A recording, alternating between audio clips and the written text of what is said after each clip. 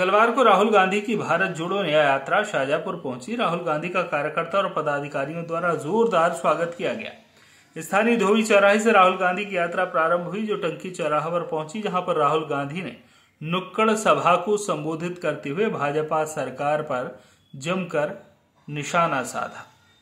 वहीं नुक्कड़ सभा को संबोधित करने के बाद राहुल गांधी की न्याय यात्रा मक्सी के लिए रवाना हुई। इस दौरान रास्ते में भाजपा कार्यकर्ताओं ने राहुल गांधी के सामने जय श्री राम के नारे और मोदी मोदी के नारे भी लगाए। गौरतलब है कि राहुल गांधी की भारत जोड़ो न्याय यात्रा इस वक्त मध्य प्रदेश से गुजर रही है, जहाँ शाहजहापुर में उन्होंने एक नुक्कड़ सभा को संबोधित किया। डिफेंस मिनिस्ट्री को देखिए, वहाँ पे अग्निवीर लागू कर दिया। पहले क्या होता था? पहले सेना में भर्ती होती थी। ठीक है? लोग युवा सुबह उठते थे रनिंग करते थे, वर्जिश करते थे, अंदर जाते थे। सेना उनको गारंटी देती थी, कहती थी, देखिए, आप में देशभक्ति की आग है। आप देश के लिए शहीद होने के लिए तैयार हो तो हम आपकी रक्षा करेंगे। और सेना उनको पेंशन देती थी। अगर उनको कुछ होता था, चोट लगती थी तो देखभाल होती थी। अगर शहीद हो जाते थे तो शहीद का रिस्पेक्ट मिलता था। अब अग्निवीर लागू कर दिया। इसमें कहते हैं, देखिए, चार लोगों की भर्ती होगी। चार में से तीन को हम निकाल देंगे।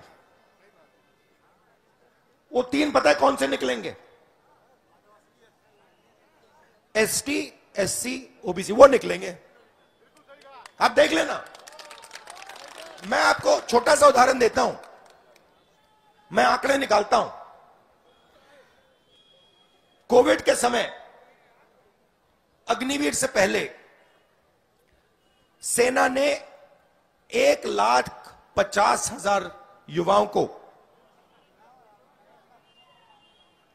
भर्ती का कमिटमेंट दिया। एक लाख पचास हज़ार, ठीक है? उनके नाम मेरे पास है। कोविड आता है, उनको कहते हैं, देखिए, अभी कोविड आया है, आपकी भर्ती अभी नहीं होगी, थोड़ी देर में कर देंगे। ठीक है? तीन साल उनको इधर उधर घुमाया। वो राजनाथ सिंह के पास गए। राजनाथ सिंह जी ने उनको आश्वासन दिया कि कोविड का समय है थोड़ी देर में आपकी समस्या को हल कर देंगे। मेरे पास चिट्ठी है। देखना चाहते हो मैं दिखा दूँगा आपको। अलंकार वो चिट्ठी निकालो।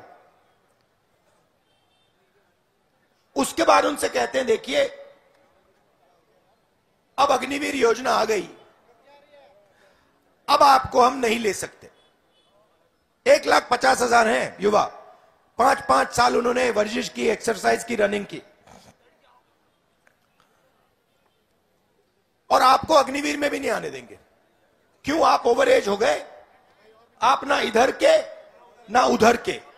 जाके आप जानो, आपका काम जाना, जाने, आप यहाँ से आउट हो जाओ। ठीक है? मैंने लिस्ट निकाली। मैंने कहा, देखता हूँ भैया, ये है कौन? पिचहत्तर परसेंट उसमें से ओबीसी, दलित, आदिवासी, और उसमें से गरीब जनरल कास्ट के लोग। अब उनका समय बर्बाद कर दिया। और फिर उनको निकाल दिया। उनको ना कोई कॉम्पनसेशन दी। उनको ना अग्निवीर में जाने दिया। और उनकी क्या गलती थी? उनके दिल में देशभक्ति की आग थी। वो गलती थी उनकी। और वो दलित थे, आदिवासी थे, पिछड़े थे, गरीब जनरल कास्ट के लोग थे, माइनॉरिटी के लोग थे।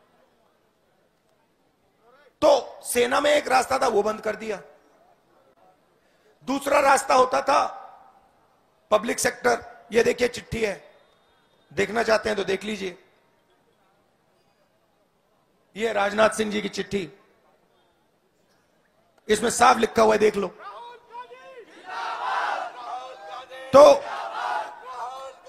तो वो कहते हैं, देखिए,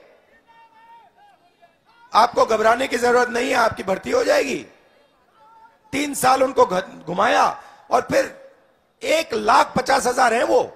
अच्छा ठीक है, अगर दस लड़के होते, पंद्रह होते, सौ होते, वो अलग बात है। भाई एक लाख पचास हज़ार लड़कों को उन्होंने परे कर दिया। शाहजहापुर से इम्तियाज़ खान की रिपोर्ट।